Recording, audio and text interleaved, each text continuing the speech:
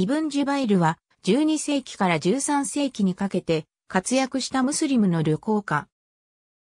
1183年から1185年にかけてのメッカ巡礼の旅行記、イブン・ジュバイルの旅行記は巡礼の機構として優れたものとみなされ、イブン・バトゥータの旅行記を記述したイブン・ジュザイら多くの人間が旅行記の記述を借用した。後世の著述家は、イブン・ジュバイルの旅行記を寄稿文の手本とした。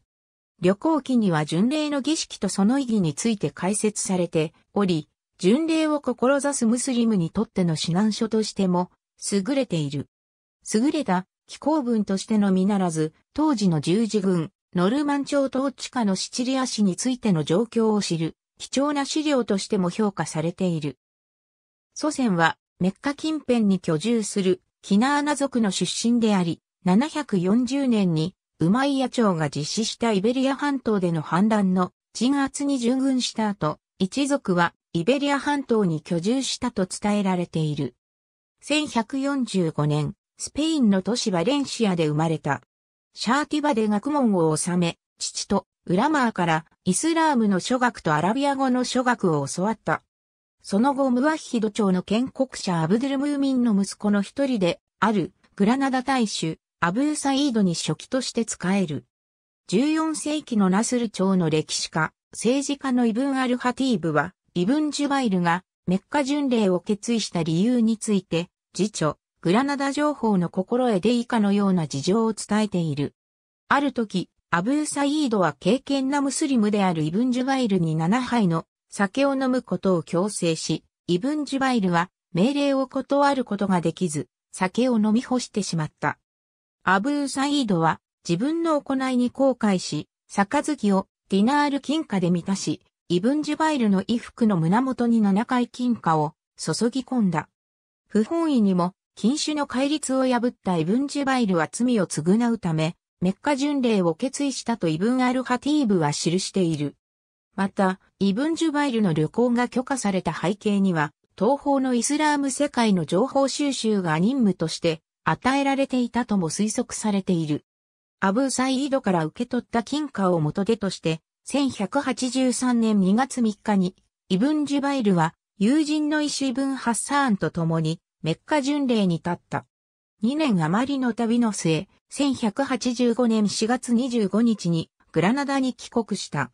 1189年から1191年に、渡って二度目のメッカ巡礼を行ったが、この時の旅行記は残していない。1217年に3度目の旅行に出発し、道中でアレクサンドリアに泊まって教鞭を取り、1217年11月29日にこの地で没した。イブン・ジュバイルが最初のメッカ巡礼で辿った経路1183年2月3日、イブン・ジュバイルはグラナダからメッカ巡礼へと出発し、まずはイベリア半島の対岸にあるセウタへと向かった。ここからジェノバの船に乗り、約1ヶ月の航海を経て、アレクサンドリアへと到達した。そこから南下して、当時のアイユー部長の都回路へと向かった。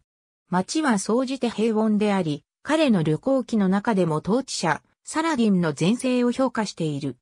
回路を離れるとナイル川を遡って上へエジプトのクスに到達し、砂漠を越えて、航海に面する港湾都市アイザーブにたどり着いた。暴風雨に見舞われながらもアラビア半島に渡航し、イエメンのジッタを経てメッカへと到達した。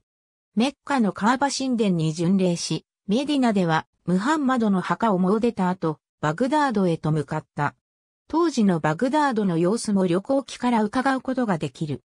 イブン・ジュバイルは世紀を過ぎたバグダードの様子を見て、王子の繁栄を忍び、またティグリス川の東岸には多くの人々と施設が集まっていることを書き残した。その後、地中海東岸のシリアへと向かい、アレッポ、ダマスクス、アッコンを訪れた。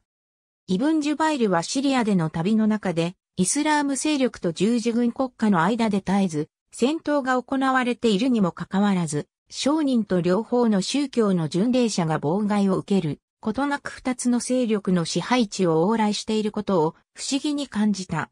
当時は十字軍勢力の拠点であったアッコンから1184年10月18日に航路でシチリア島へと向かう。